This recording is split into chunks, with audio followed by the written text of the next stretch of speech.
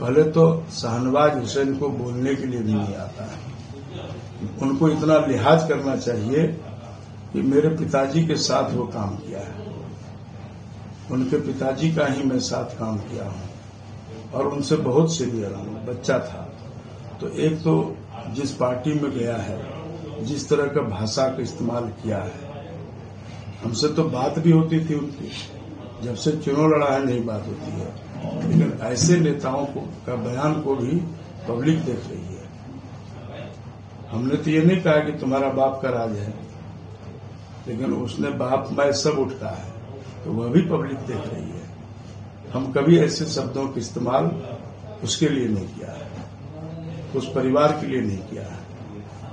लेकिन वो तो अति पार कर दिया तो सब जस्टिस करेगी पब्लिक और हम उतना जिस तरह का भाषा वो बोलता है क्योंकि उसकी पार्टी वैसी है।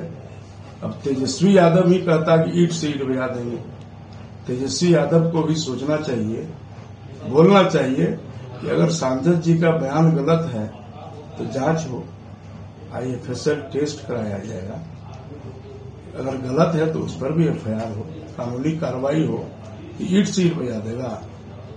तेजस्वी यादव हमको सर्टिफिकेट देगा। अररिया की जनता तीन तीन बार हमको सर्टिफिकेट दिया है एमपी में और हिंदू मुसलमान दोनों दिया है। इसीलिए यह राजनीतिक भाषा है। मुझे तेजस्वी यादव और किसी का प्रमाण पत्र का ज़रूरत नहीं है। हम हिंदू मुसलमान, दंगा फसाद करने वाले व्यक्ति ही नहीं है। अब है कि वो स्वाभिमान यात्रा में आए थे। हिंदू। तो अपने हिंदू को जगाने की बात किया, अपने इष्ट देवता की बात किया।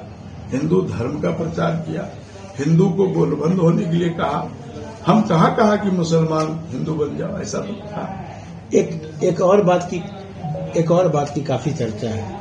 कहता है ये जो अराजक स्थिति है या जो दो तीन दो तीन दिनों से विपरीत स्थिति है इसने प्रदीप सिंह को इतना हाईलाइट किया है कि एकदम राष्ट्रीय से अंतर्राष्ट्रीय मैंने राष्ट्रीय स्तर का नेता बना दिया है। ये कौन हाईलाइट कर रहा है?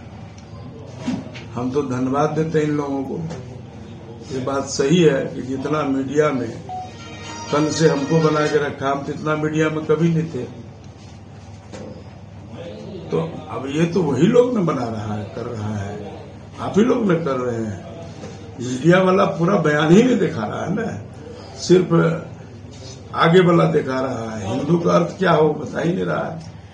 अच्छा आपके जो सीनियर लीडर हैं, चाहे वो राष्ट्रीय स्तर के हों इस विषय को लेके तो आपसे संपर्क में होंगे। उनका कितना समर्थन है आपके साथ? नहीं राष्ट्रीय लीडर से कोई हमारी अभी बात हुई नहीं है। प्रदेश के लोगों ने ज़रूर कहा कि क्या बात है सरकार अपनी है। ये सब बातें भी सामने हो रही थी हमारी। वो लोग अभी बयान तो देखिए है सब लोग। तो हमारा कोई ऐसे राष्ट्रीय लीडर से इस संबंध में बात नहीं हुई। अररिया में शांति बहाल करने के लिए आपका अगला कदम क्या होगा? अगला कदम यही है कि मैं अररिया वासियों से, हिंदू, मुसलमान दोनों समुदाय से यही कहूँगा कि अररिया गंगा जमुना का तहजीब रहा है और अररिया का सांप्रदायिक सौहार्द को कोई भी व्यक्ति बिगाड़ने का कोशिश न करें। यह आपका अररिया है, सबका अररिया है, हिंदू, मुसलमान, छोटा, बड़ा सबका है, हमारा भाईचारगी है। ये बरकरार रहना चाहिए। राजनीति के चलते अररिया में दंगा नहीं होना चाहिए, फसाद नहीं होना चाहिए, आपसी वैमनस्ता नहीं होना चाहिए।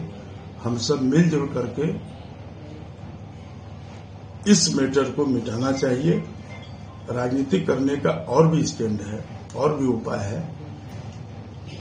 इस बिंदु को हिंदू मुसलमान करके माहौल खराब नहीं करना चाहिए।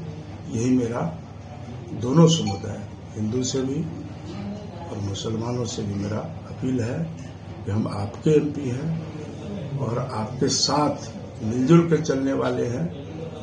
ऐसी बयानों पर आप भरोसा न रखें। आप हमारे स्वभाव को भी जानते हैं। कभी मैं इस पर भरोसा भी नहीं किया। इस नाते इन बातों के छोट भैया नेता आपका इस्तेमाल कर रहा है। इस पचड़े में नहीं पड़ना चाहिए। अररिया का सांप्रदायिक सौहार्द बरकरार रहना चाहिए। यही आपसे मेरा अपील है अररिया वासियों से।